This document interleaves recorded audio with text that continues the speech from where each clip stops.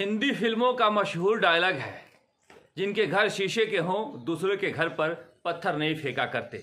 राजस्थान के मुख्यमंत्री अशोक गहलोत को इस बात का अंदाज़ा हो गया होगा। राजस्थान के कांग्रेस के वरिष्ठ विधायक और पूर्व मंत्री महेंद्रजीत सिंह मालवीय ने अपने ही सरकार पर आरोप लगा दिए हैं कि भारतीय ट्राइबल पार्टी के दो विधायकों को दो मौकों पर पाँच पाँच करोड़ रुपए देकर खरीदे हैं।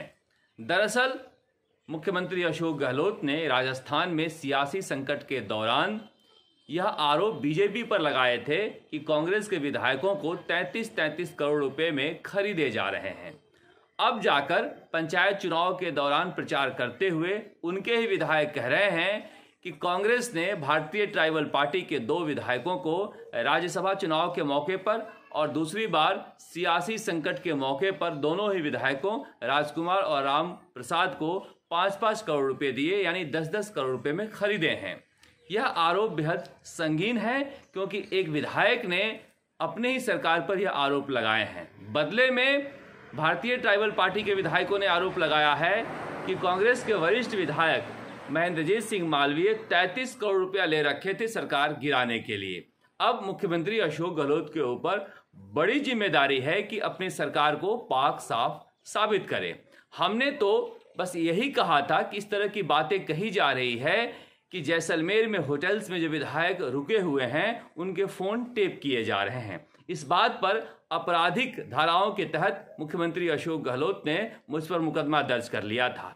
अब उनके ही विधायक कह रहे हैं कि उनकी ही सरकार ने बिना नाम लिए मुख्यमंत्री अशोक गहलोत पर सीधे सीधे निशाना लगा रहे हैं कि पाँच पाँच करोड़ रुपये दो मौक़ों पर देकर विधायक खरीदे थे।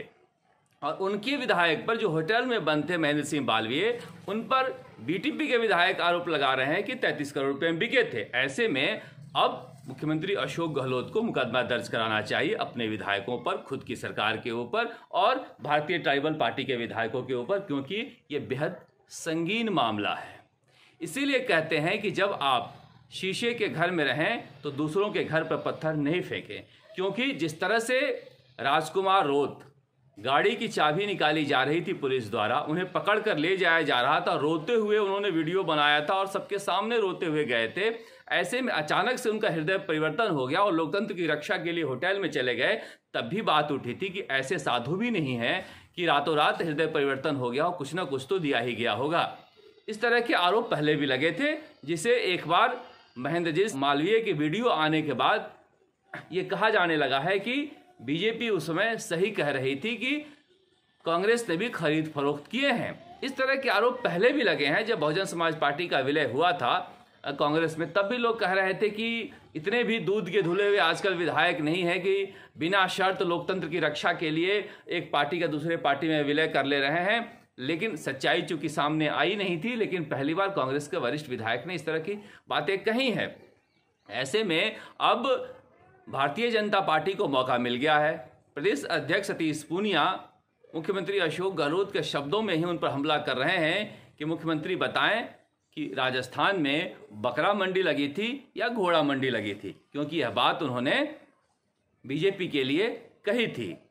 जिस समय बीजेपी के कुछ विधायक विधानसभा से अनुपस्थित हुए थे, तब भी इस तरह की बातें चर्चा में थी दबी ज़ुबान में कि हो सकता है कि उन विधायकों से संपर्क किया हो कांग्रेस ने प्रलोभन दिया हो। ऐसे में ये कहना कि मैं साफ़ हूँ और दूसरा गलत है आ, ये कई मौक़ों पर सही नहीं होता देर सवेरी बातें सामने आ जाती है। और महेंद्र सिंह मालवीय ने जो बातें कही हैं वो उन बातों को लेकर कांग्रेस में एक कसमकस भी है, क्योंकि जो जिस इलाके में उन्होंने ये बात कही है, वो ज़रूरी हो गया है उनके लिए कि भारतीय ट्राइबल पार्टी के विधायकों की जो साख है उनसे खत्म करें, क्योंकि भारतीय ट्राइबल पार्टी वहाँ कांग्रेस को खत्म करते जा रही है, और सरकार को समर्थन देने के बाद तो बिल्कुल ही वो अगिया बैताल हो चुके हैं, आंदोलन करने के बाद कांग्रेस को कुछ समझ ही नहीं रहे हैं। ऐसे में जो गैर आदिवासी वोट है, वो ज़्यादा बीजेपी की तरफ़ है। आदिवासी वोट वोट है जो, वो कांग्रेस के पास पहले से था, लेकिन इस चुनाव में अगर कांग्रेस पिछड़ी है विधानसभा चुनाव में तो सिर्फ़